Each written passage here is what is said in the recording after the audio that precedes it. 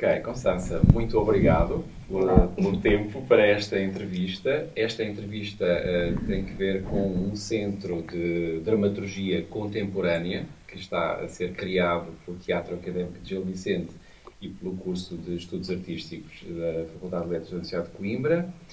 Uh, eu vou fazer uma pergunta sobre a tua formação. Tu vens da Argentina e fizeste uma formação em dança. Uh, podes falar um pouco sobre o que é que aconteceu na Argentina e porquê é que saíste da Argentina depois para os Estados Unidos?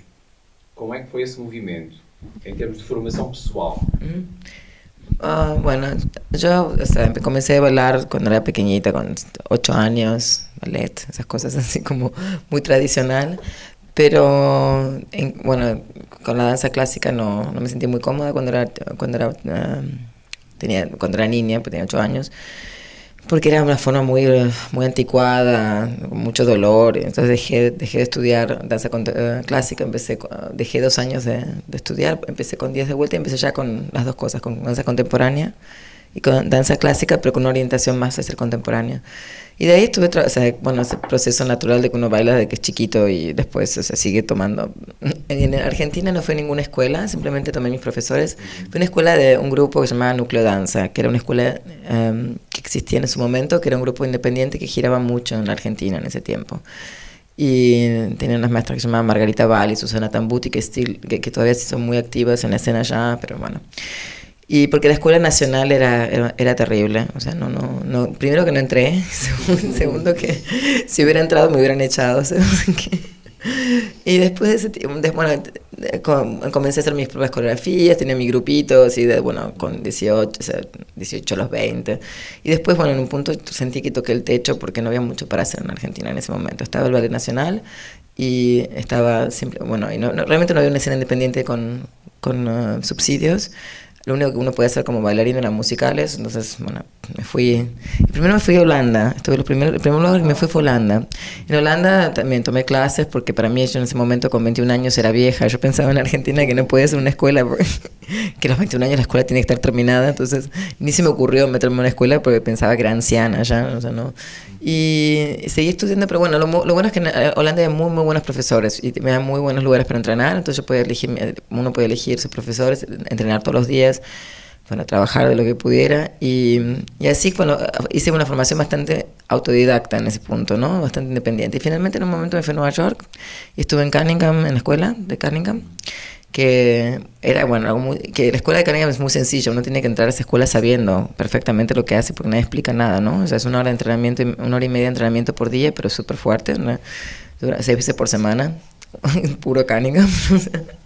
Pero bueno, a mí me interesaba mucho su concepción de la escena y su trabajo con John Cage y, y, y, no tiene nada que ver con lo que hago yo, pero realmente me parecía como, como mente muy, muy interesante. Y eso fue como lo, lo, que yo aprendí como bailarina, que fue lo que después yo llegué a la coreografía. Pero, y de coreografía no, no, no estudié, o sea, me empecé, empecé, ya en Argentina empecé a hacer cosas, bueno, sí estudié en realidad, estudié con Susana Tambuti, que era, era esta mujer que, es, que, era, que era profesora de la universidad de, de filosofía pero que enseña coreografía en, enseña coreografía en, en, la Universidad de Filosofía, es rarísimo. Pero, pero bueno, Susana era muy buena, era, era realmente muy buena enseñando critici, eh, crítica también. Enseñaba coreografía y enseñaba crítica, porque no existía la crítica para la danza en, en, casi en Argentina. Y era, era muy interesante porque vimos muchos videos, tenía una, un, un archivo muy grande en Holanda yo seguí con esa, con esa autodidacta research, investigación, porque tienen una, tenían, ahora lo cerraron por el corte de, de subsidios, un instituto de teatro muy, muy bueno, muy, con una biblioteca increíble de teatro y danza. Entonces uno podía ir todos los días y mirar material de, bueno, todo lo que estaba, había pasado en Europa en los últimos 20 años. Es realmente muy, muy bueno. Entonces, bueno, tuve la oportunidad de tener todas diferentes influencias y y en un momento pues volví a hacer mi trabajo los, en Holanda, pues tiene un, lugar para hacer residencia y tiene un estudio para mí, o sea, no tenía subsidio, pero tenía realmente unas condiciones para una persona bueno, joven que no, no tiene realmente más mucho, que recién está empezando, eran muy buenas condiciones, había como un poquito de dinero, técnicos, o sea, pero no realmente algo así sustancial, digamos, ¿no? Pero bueno, con todas esas cosas empecé a armar un poco mi, mi estética, lo que lo que me interesa, ¿no? O sea. Uh, ou seja, depois, depois foste para Berlim.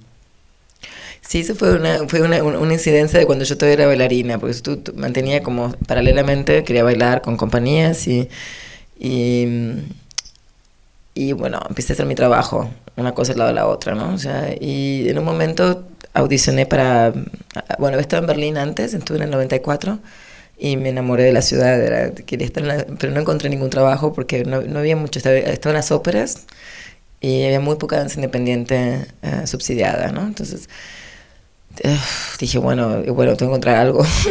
y justo vi una audición para Berlín con una compañía española, de, de, o sea, Sergio Labert, es un coreógrafo catalán, y me fui a trabajar con él. Sea, bueno, hice audición, en, en, entré en la compañía, me fui a trabajar con él. Y, y, y, bueno, me enamoré de Berlín, me sigue enamorando de Berlín, no tanto de la compañía.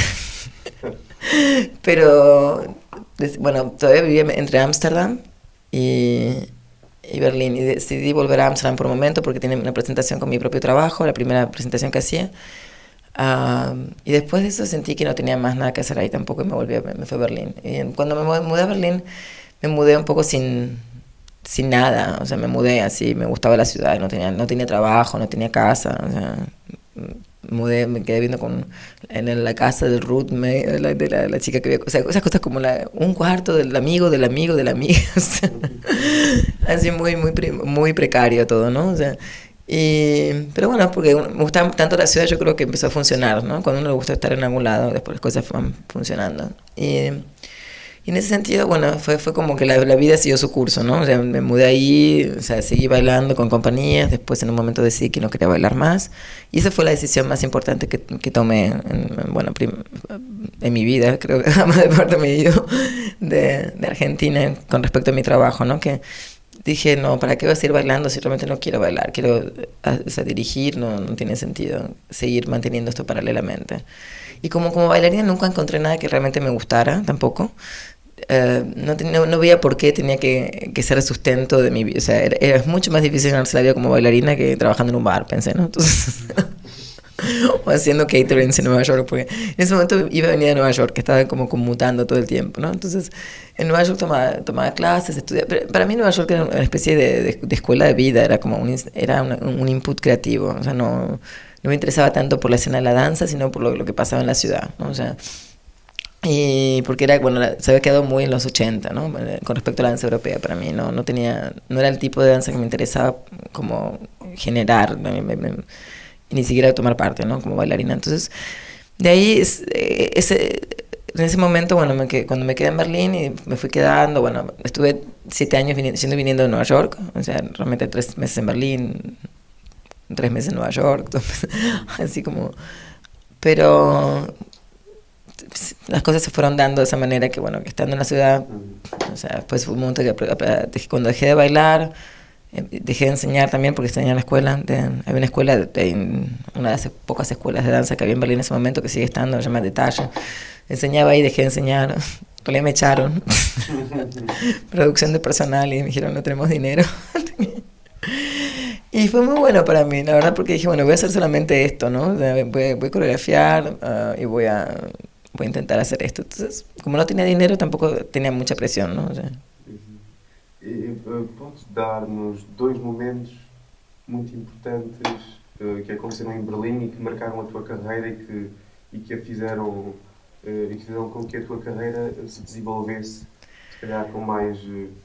Bueno, una fue la primera obra que hice, que fue como mi primera obra que mostré, ¿no? Después de, trabajé muchísimo, porque además no tenía dinero, pero yo quería trabajar, trabajé dos meses sin dinero y todos los días como seis horas por día, ¿no? O sea, una explotadora, yo mi bailarina, o sea, yo bailaba también, pero, pero bueno, dije, bueno, no tiene, y bueno, lo queríamos hacer todos, ¿no? O sea, era un plan que, como estaba todo clarísimo, yo no tenía, era, cuando entran los tickets se reparte el dinero, todo el mundo estaba contento con esa idea, ¿no? O sea, no, era bastante joven también, tenía 27 años, y bueno, hice este, este trabajo que funcionó muy bien, era un, en un lugar en Bauhaus en que ahora se transformó más como en un teatro más uh, con, con, más difusión. En esa época era un poco como una especie de teatro del barrio, ¿no? que tenía muy buenas condiciones, pero que era bastante accesible. ¿no? Entonces yo fui y hablé con la gente, dije, ¿puedo, ¿puedo presentar algo? Me dieron un lunes y un martes. unas fechas impresionantes. Pero bueno, se llenó completamente, ¿no? Estábamos sold out. No sé cómo lo logré todo eso, porque no, no sé, no, no tenía realmente ni... O sea, hice flash, o sea, realmente generé que tenía mucha gente. Y, esa obra le gustó a, a, otra gente que estaba en, Teatro en Halle que después fue el HAU. Y después, eso es como presentaron después de los próximos trabajos. Entonces, eso ya era un teatro más, o sea, para la escena independiente, un muy buen teatro, ¿no? Entonces ahí empecé como a entrar, entrar enseguida en ese circuito de la escena independiente de Sofía Encel, bueno, en esa época. Y, y ahí fue, bueno, fue como el kick, ¿no? Que empezó a estar. Y para mí lo crucial fue justamente eso, que cuando decidí no, no hacer otra cosa que, que coreografiar, ¿no? O sea, que, que fue todo el momento que pasó esto, ¿no? Que hice, esta obra y, bueno, una cosa llevó a la otra que empecé realmente a trabajar en la escena independiente, empecé a tener mucho, no tenía, o sea, tardé mucho tiempo en traer subsidios, pero cuatro años trabajando sin dinero, que en Alemania es una locura, pero tuve mucho, uh, mucha prensa, o sea, siempre había muchos artículos, este, o sea, había como artículos, o sea, en esta revista Ballet Intentanza habían hecho un, artículo enorme sobre el trabajo que, que estaba haciendo, los diarios locales, entonces como los teatros estaban llenos, o sea, siempre cuando hacía algo en Sofía en CL teníamos que ser, o sea, 200 personas, estaba lleno, o sea, ¿no? En realidad no pueden ser 200 porque no tienen, no tienen permiso, pero siempre había como 150, era, llegaban hasta, era como bastante, o sea, funcionaba muy bien con el público y funcionaba muy bien en la escena, o sea, tenía muchos colegas que les gustaban el trabajo, entonces era como una, una cosa que generé dentro de la escena independiente, ¿no? O sea, y esa decisión de no, no hacer otra cosa fue muy buena, fue muy dura. Tuve meses sin. Me cortaron la luz, porque no tenía, no tenía dinero realmente, ¿no? O sea, no tenía luz, no tenía teléfono. Pero realmente fue sentir que tomaba como riendas de lo que quería hacer y de mi vida y no, no, ir tener una decisión clara. Entonces, después de eso, eso fue realmente lo mejor que podía haber hecho. Y después, en, en el año 2003, 2000, sí, 2002, después empecé a trabajar en 2003, conocí a Matías Lilienthal, que es que fue el director del HAU. Y, y él, bueno, o sea, empecé a trabajar con el HAU y ese fue un teatro que también, o sea, me ayudó mucho para mi carrera. O sea, tuvimos, hicimos piezas que funcionaron muy bien, como Hello Earth. Empecé a trabajar con, con una comunidad de chicos árabes que conocí por medio de tu teatro, por medio del Foxbühne. En ese momento estaba trabajando con todo el mundo, empecé a trabajar con la Schaubühne, o sea, se dio un, un, un fenómeno rarísimo que que empecé, o sea, de la escena independiente y realmente ser muy, pero muy underground y trabajar sin nada, a empezar a trabajar con los teatros más grandes. Y se fue dando así, no sé, como casi entrando en proyectos chicos en teatros grandes a, a, proyectos grandes en teatros grandes, ¿no? Pero fue realmente una, uh, generado por el trabajo mismo, ¿no? O sea, pero um, en el 2003 hicimos, fue, hicimos una obra que fue un éxito, eso fue un, un hit, que fue, un, uh, site, que fue site specific, que fue un edificio, ¿no? O sea, tomamos un edificio del de los mil, no, de, de 1900, que era una era como un shopping era un shopping center que en los 30 era pertenecía a una familia judía que se llamaba Kaufhaus-Jandorf y era muy conocido era como una familia muy rica en esa época y fue expropiado por los nazis y después eh, los nazis hicieron como un shopping de la Unión en, en, esa época, en los 30.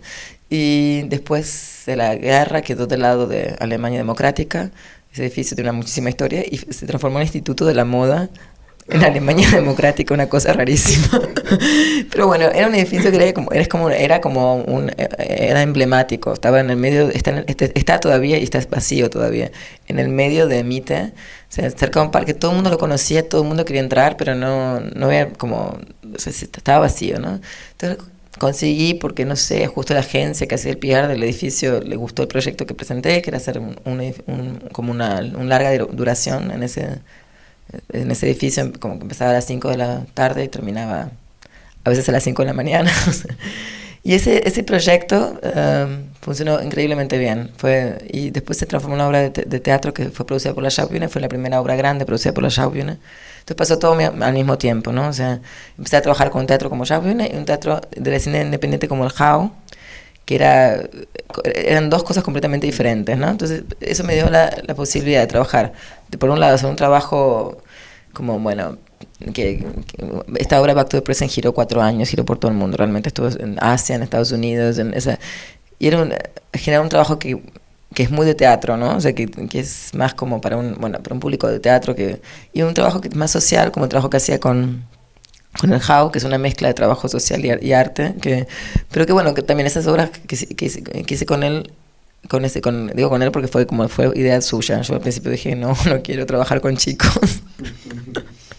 y no quiero. me parece, me parece, no. No, yo estaba, ya estaba trabajando con los chicos, pero era, fue una, una cosa como, eh, fue un incidente. Estaba, vine con una, una obra de Fox Uni, era un, un proyecto que iba a los barrios, era como, llevaba teatro a los barrios, se llamaba... Y estos chicos estaban ahí, me preguntaron hacer algo con los chicos, y dije, bueno, les doy una coreografía chiquita, y les di una cosita así. Y después esos chicos estaban tan enamorados, estaban así como, ay, queremos bailar. Entonces nos, terminamos en, en, este barrio, siendo en la escuela, nos dieron un aula y trabajamos ahí en el aula. Teníamos nuestra sala de ensayo en el aula de la escuela. trabajábamos con los niños. Pero yo no pensaba hacer nada después con los niños, porque me parecía muy, muy difícil hacer algo con esos niños, porque es un barrio difícil, son familias, eh, algunas no están muy bien integradas, o sea, no, no entendía cómo sacarlos de ahí meterlos en un teatro en, en pero un teatro muy lindo, Nouveau, y con un público que en, su época era muy burgués, después cambió, o sea, con esta dirección cambió. Me parecía algo como súper... Uh, alien, extranjero, rarísimo, o sea, no, no pero bueno, finalmente como decidí, en un momento cuando tuve esta propuesta, esta, obra, con, porque se enteraron que yo estaba trabajando con esos chicos, o sea, los, la gente sabía, dijeron, ah, ¿por qué no haces una obra con, estos niños? Y cuando después lo pensé, dije, bueno, realmente que los puedo ayudar, porque había chicos que tenían problemas de las familias habían sido deportadas, los habían puesto en, aviones a las 5 de la mañana, y los mandaron al Líbano, que la, la, mitad de la familia no conoce, nunca estuvo en el Líbano, o sea, entonces pensé, bueno, si te pagamos los abogados y ayudamos, o sea, este proyecto puede ayudar a, que se queden y tengan una, se puedan integrar en... Porque ellos estaban integrados, esta familia está súper integrada. El tema es que, bueno, no tenían papeles, ¿no? Y eso es, si puede, si puede cambiar algo en la vida cotidiana de esta gente, no simplemente tener un, el evento de un show que la gente dice, ah, mira qué lindo, qué exótico, lo que pasa en Berlín, o sea, estas familias, pero realmente puede promover un cambio en su vida, hagámoslo. Y, y bueno, no, no, creo que todo el mundo, pero creo que fue una experiencia que, como hice dos obras con este, estas familias, ¿no? Eran como, hice una obra cuando tenían nueve años y una obra cuando tenían trece años. La última obra giró también como tres años, ¿no? O sea, estaban cada vez más grandes. Al final eran enormes.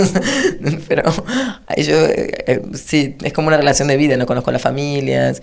Y una familia realmente o sea, tan, se, se, pudo quedar, o sea, empezaron a, conseguir papeles, ahora tienen permisos. Uno de los chicos entró a una escuela, de, empezó, es, como un actor reconocido. Está en la escuela en Múnich, aparece en televisión, en tatuajes, o sea, como series muy conocidas.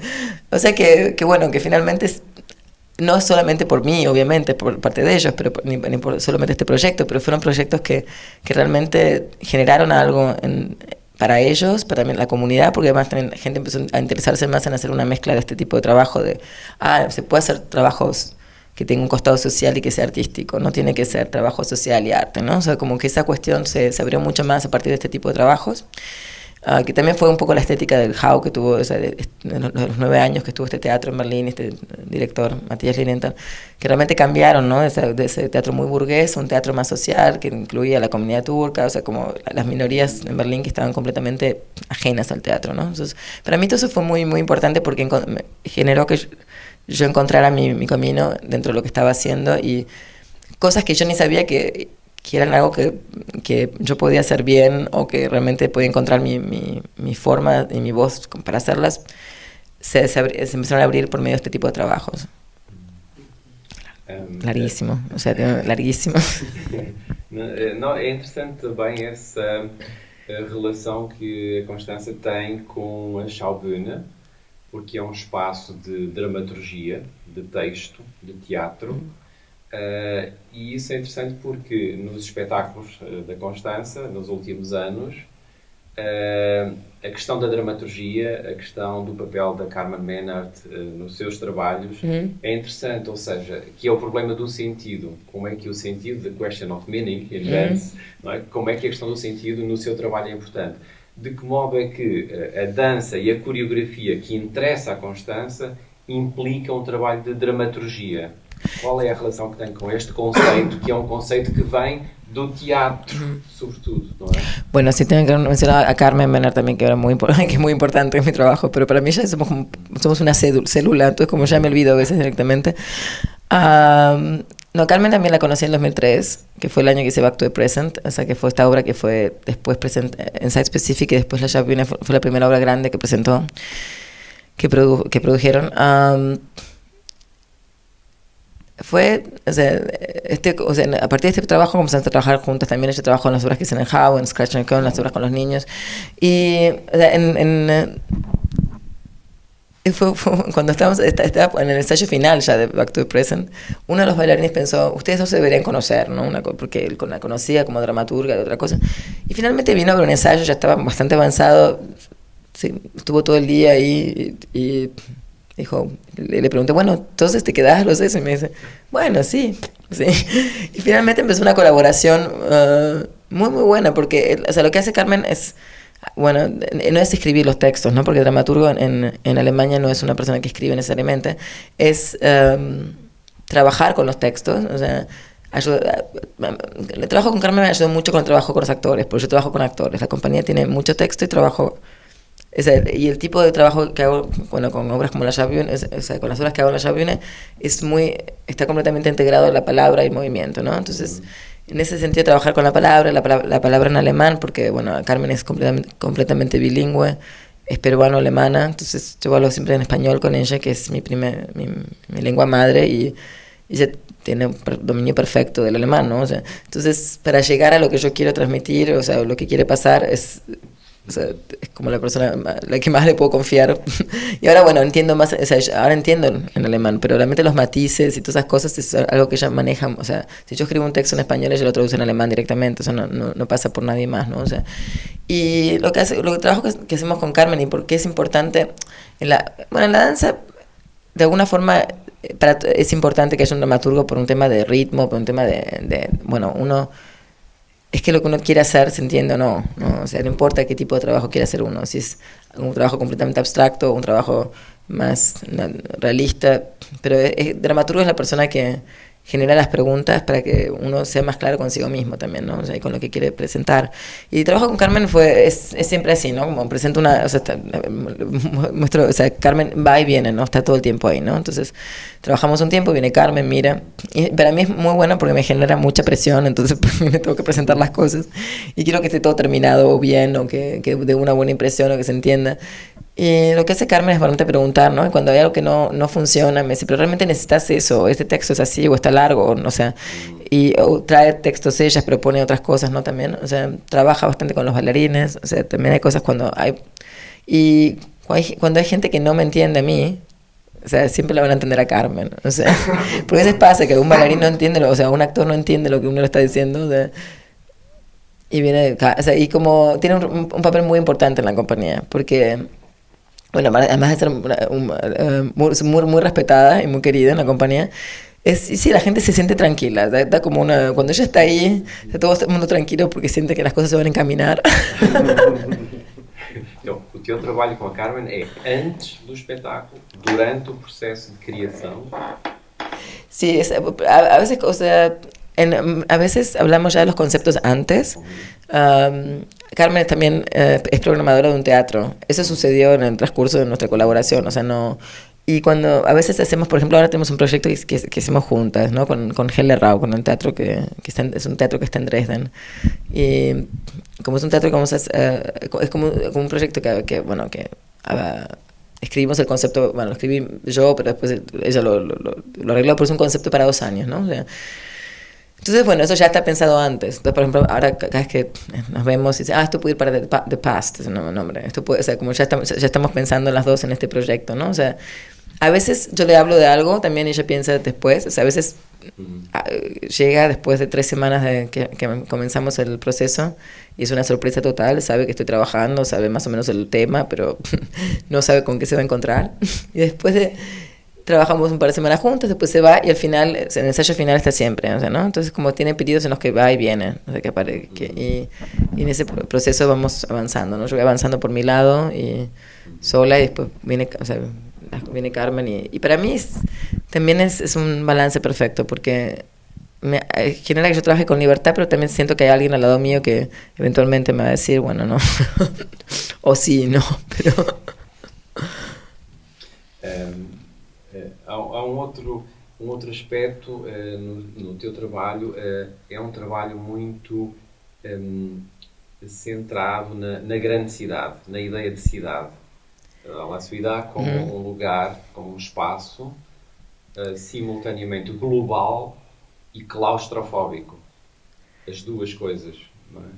Sí, tengo una serie de, trabajos que, o sea, Brickland, que es sobre uh, barrios cerrados, que era como, bueno, los barrios cerrados son siempre un, una, lo que pasa en la periferia de las grandes ciudades, ¿no?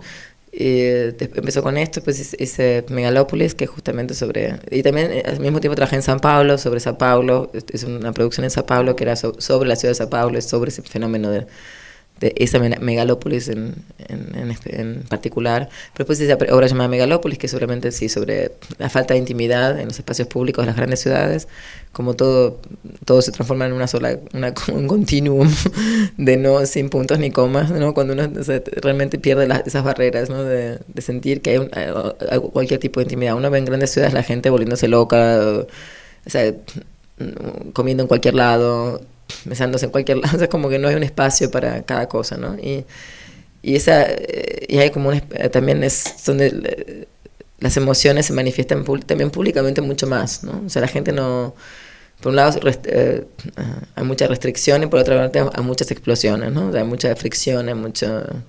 Entonces, bueno, ese fue uno, de los temas que, que, examiné bastante con Megalópolis. Después vino Hereafter, que es sobre agorafobia, sobre la gente que no quiere salir de la casa.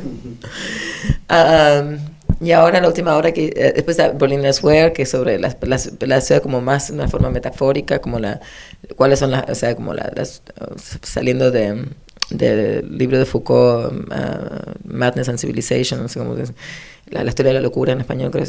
Um, como la gente, o sea, que, que, no pertenecía con, o sea, en la ciudad, cuando, cuando, cómo se empezaba a segregar a la gente con las formaciones de las ciudades, se empezaba a definir quién era, cuál era la locura, ¿no? Y, y quién perdía los derechos civiles, o sea, que eran los locos. Eh, y se parece mucho a lo que pasa ahora. O sea, los que no tiene, la única gente que no tiene derechos civiles son los locos y los inmigrantes. O sea, están exactamente en el mismo lugar.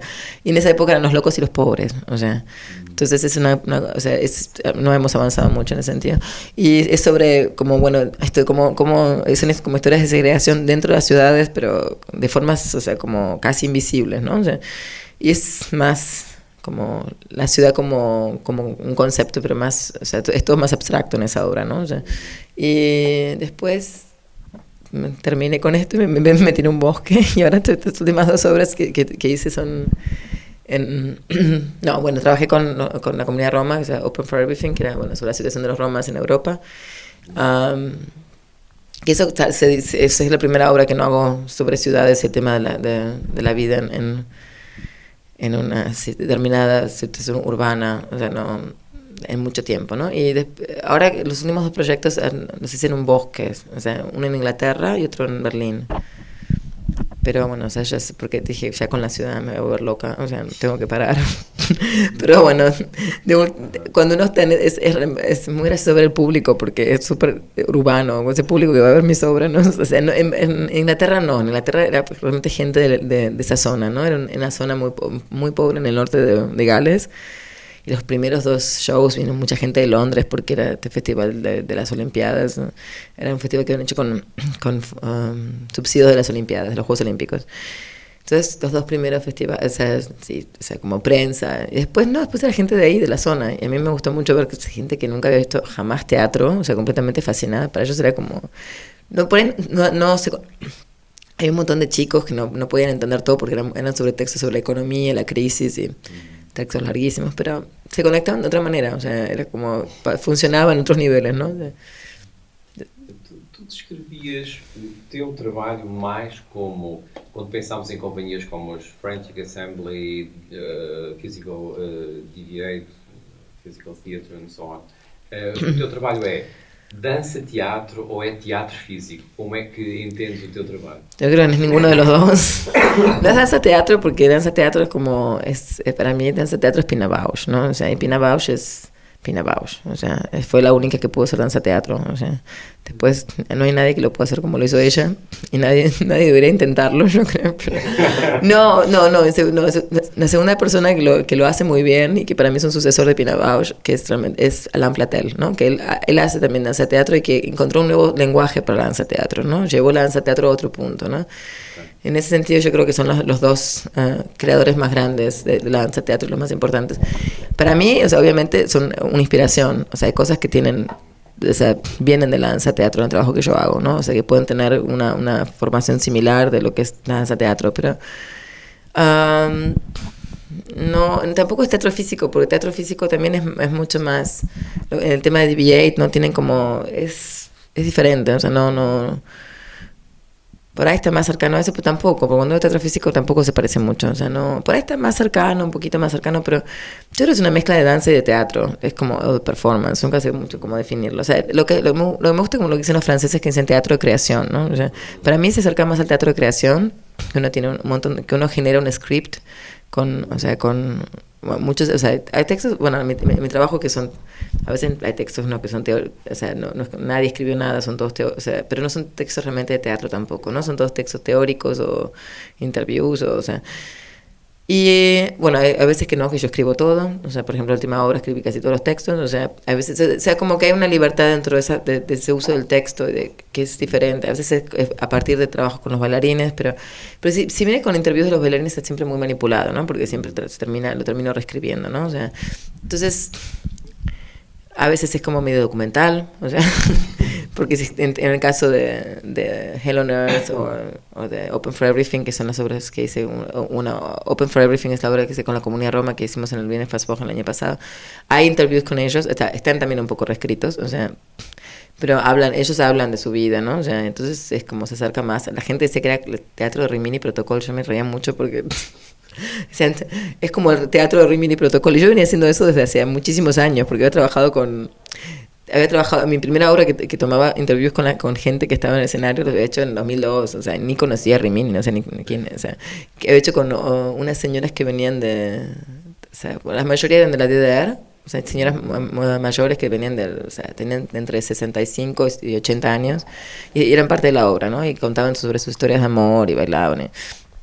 Pero siempre está mezclado, no es teatro documental porque está mezclado con los bailarines haciendo otra cosa, tampoco, o sea, se maneja entre todo, es como un, entre todos esos mundos, pero no, no puedo decir que pertenezca a, ni, a, ninguno, entonces me parece que lo de teatro de creación es lo más cercano, o sea, pero no es danza, entonces es raro decir teatro.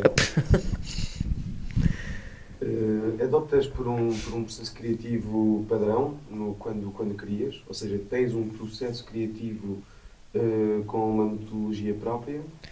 La forma que trabajo es siempre lo mismo. Like, o, o lo mismo o, o va variando? No, va variando, depende del grupo, depende de, depende de la idea, depende... No, trato de que varíe para no aburrirme también y para que no salga siempre lo mismo.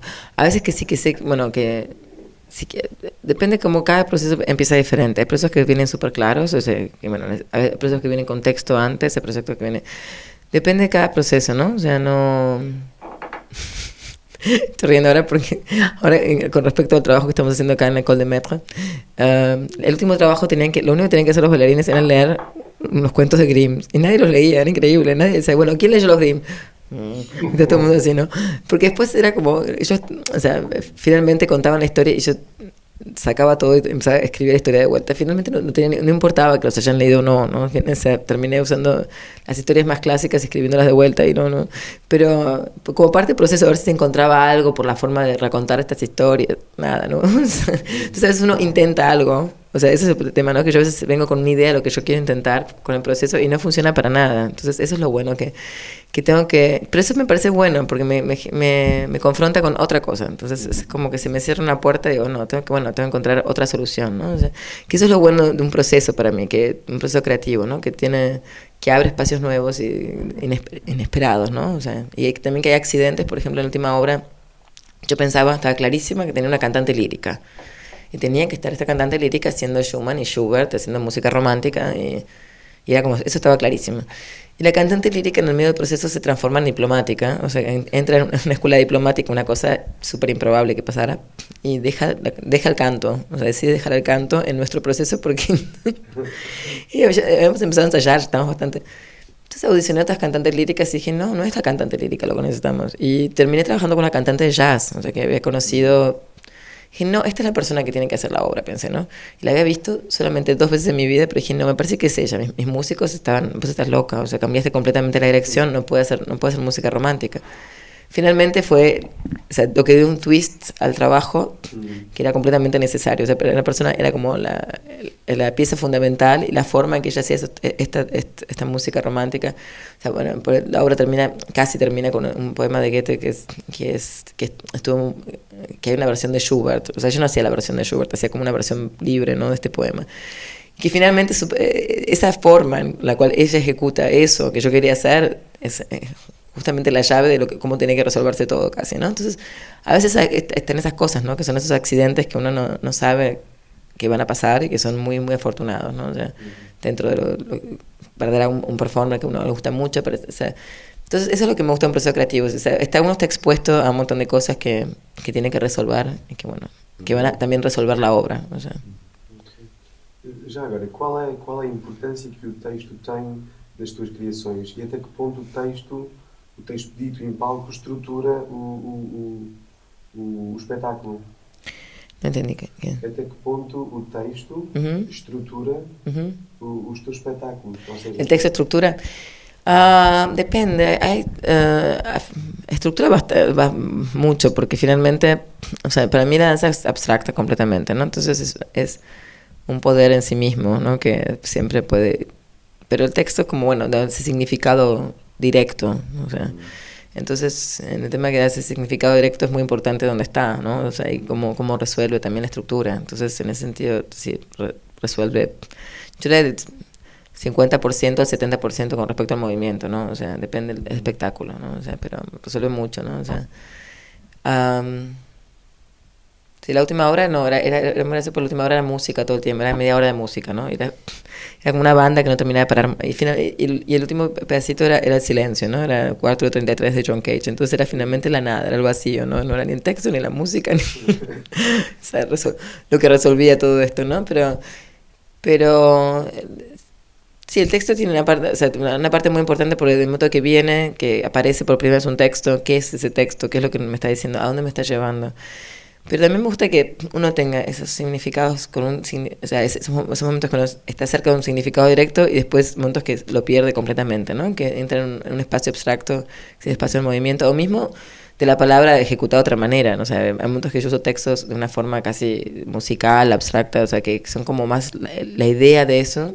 Por ejemplo, en, este, en esta última obra hay un texto de Lacan que la chica, eh, que, que, era un texto de una, una conferencia Lacan, o sea, era un texto coloquial, era Lacan hablando a la gente, ¿no? O sea, no era un texto teórico, o sea, como de un, siempre teórico, pero no era un, era de un libro de, texto, ¿no? O sea, no, y era algo que, tenía que tenía una conexión con un interlocutor, ¿no? O sea, y, lo hacía la cantante, era, lo hacía como, se terminaba formando como entre ruidos y animales, y igual seguía, uno siempre, siempre volvía al texto, pero el texto en sí mismo era muy claro, pero a veces esos textos que son clarísimos, igual uno es un texto que es más teórico en medio de una, de una obra de danza, o sea, la gente los pierde, ¿no? O sea, y para mí de forma que estaba ejecutado uno entendía lo que era, ¿no? O sea, era como, bueno, entraba por otro lado, ¿no? O sea, entonces para mí esos, los textos también tienen esa forma que a veces como uso texto, bastante textos teóricos, ¿no? También en las obras, o sea, entran como... No, no todo el mundo entiende todo, pero entiende algo, ¿entendés? Y es más un significado que no, es no es una historia sobre personajes, es, es, una historia sobre el significado en sí mismo, ¿no? O sea, lo que, que es la idea que uno con la cual está trabajando, ¿no? O sea, entonces como que va de una, una forma más uh, abstracta, pero al mismo tiempo... Uh, a ver, hay gente que a veces no se le pierde completamente también, ¿no? Me pasa eso, no es que siempre se entienda, pero no es que todo el mundo lo entienda, pero para mí eso tiene, se define mucho qué tipo de texto, o sea, que, no, nunca lo veo el texto tampoco como una cosa sola, ¿no? O sea, es como, tiene, puede ser, bueno, muchísimas cosas. a veces tiene que ser entendido, a veces no, y en ese sentido define la, estructura de, formas diferentes, ¿no? O sea. Una, una pregunta recurrente Por que, que mudou o nome eh, da sua companhia de Tamagotchi para Dorky Park? El nombre. ¿Por qué? ¿Cuál fue el motivo? ¿Cuál fue la razón? no, pues en, en, esa época se llamaba Constanza Macras eh, barra Tamagotchi. Lonely Tamagotchi primero. Y entonces un, crítico de danza me dice, ah, está muy gracioso lo de tu nombre, lo deberías cambiar todo el tiempo, dejar tu nombre adelante, ¿no? O sea, total, no importa, o sea, porque el Tamagotchi que nadie sabe lo que es, ¿no? O sea, era Tamagotchi de ese huevito japonés, que era, que era como un animalito electrónico. Y yo tenía uno porque un amigo me había regalado esto, como parecía, Lonely Tamagotchi, bueno, que es un Tamagotchi que se va a morir, ¿no? Porque nadie lo está ayudando, pero entonces, después se transformó en Tamagotchi Y2K, porque era el, momento de eh, Y2K, el momento del famoso Y2K bug que iba a matar a todas las computadoras. Y, y entonces pensé que lo iba a matar a Tamagotchi también, porque va a ser un reset al 1900. Y que pensaba que las computadoras no iban a poder salir del 2000, ¿no? ¿Se acuerdan de ese momento? Que después que en el 2000, el año 2000, todas las computadoras iban a volver a 1900, ¿no? Es, entonces dije, bueno, por ahí como es una cosa electrónica. y después se transformó Dorky Park porque ya lo de Tamagotchi, ya, la broma se había agotado completamente en el año 2002. no había nada que la gente se pudiera relacionar. Y se estaba trabajando con un grupo de chicos que eran americanos y siempre decían, ay, qué dork, qué dork. eso en español es como aparato, es como, como raro, o sea, como extraño. Entonces me parecía gracioso porque me, porque también, o sea, no, yo me sentí identificada como que, bueno, que cuando estaba, toda mi vida no había sido como la persona más cool, ¿no? Era como más como la persona rara, tampoco era la más, no era una nerd completamente, pero era una cosa así como una dork, ¿no? Entonces, um, como estamos haciendo una obra como dorky, eh, sobre el, que trabajamos como, con mucha inspiración del, programa espacial soviético y la inspiración Mier, llama, una, una trilogía llamada Mier Love Story, ¿no?